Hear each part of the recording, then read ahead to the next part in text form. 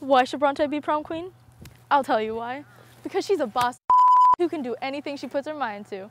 And if you do, you'll be in for a mysterious ride. Bro, I'm really hungry. Bro, me too. Where, where should we go?